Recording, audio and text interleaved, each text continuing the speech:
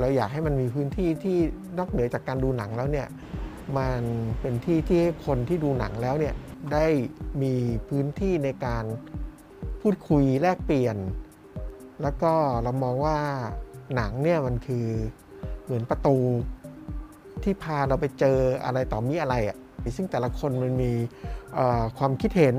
มีชุดความรู้ที่เกี่ยวกับเรื่องนั้นๆ ของหนังเรื่องนั้นๆเนี่ยไม่เหมือนกัน เรามองว่าไอไอการดูหนังแบบแลกเปลี่ยนมันมันหายไปนาน เพราะเชื่อเสมอว่าภาพยนตร์ไม่ได้เป็นเพียงแค่สื่อบันเทิง โดยเฉพาะอย่างยิ่งหากมีพื้นที่สำหรับการถกเถียงตั้งคำถาม และถอดประเด็นจากหนัง นี่จึงทำให้สุภาพริมเทพาทิพย์ตัดสินใจเข้ารับช่วงต่อจากพื้นที่ฉายหนังอิสระของ Bangkok Screening Room ย่านสาลาแดงซอยหนึ่งที่ต้องปิดตัวลงเพราะไปต่อไม่ไหวเส้นพิษโควิด -19 ด้วยการเปิดเป็น Dog Club and Pub พื้นที่ฉายภาพยนตร์สารคดีจากหลายมุมทั่วโลก และยังสารต่อความตั้งใจของเจ้าของพื้นนที่เดิม ด้วยการฉายภาพยนตร์คลาสสิกและหนังหาดูยากที่ไม่ปรากฏในโรงใหญ่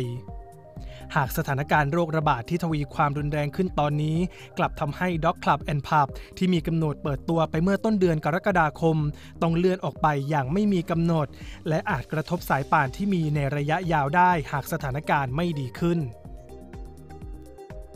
สุภาพริมเทพาทิพย์เคยเป็นหนึ่งในคนที่สนับสนุนให้เพิ่มพื้นที่ฉายหนังไทย และเรียกร้องให้มีการสร้างวัฒนธรรมการดูหนังที่หลากหลาย ร่วมกับกลุ่มเครือข่ายผู้ประกอบวิชาชีพภาพยนตร์เมื่อ 4 ปีก่อน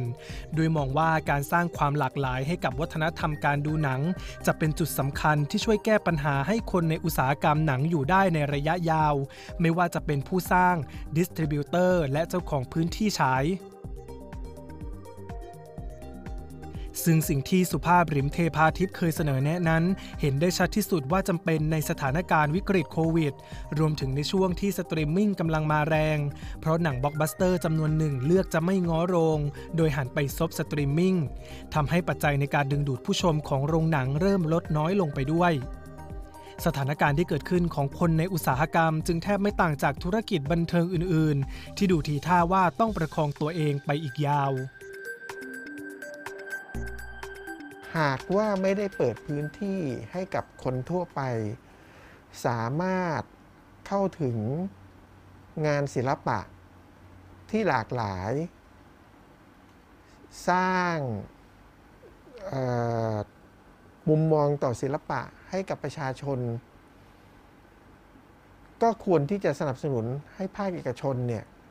ที่สามารถทำสิ่งเหล่านี้ได้เนี่ยด้วยมาตรการต่างๆ จะเป็นอะไรบ้างก็ไม่รู้แหละแต่ว่าผมคิดว่าไอ้สิ่งเหล่านี้ควรจะหันมามอง แม้ยังไม่มีการประเมินตัวเลขที่แน่ชัดว่าอุตสาหกรรมภาพยนตร์สูญเสียรายได้ไปเท่าไหร่ ในช่วงการระบาดระลอกใหม่ หากสถานการณ์ที่ยังคงยืดเยื้อนานหลายเดือน คาดการว่านี่อาจส่งผลต่อตัวเลขรายได้หลักร้อยถึงหลักพันล้านบาททีเดียว กวินพบพันธุเริกไทย PBS รายงาน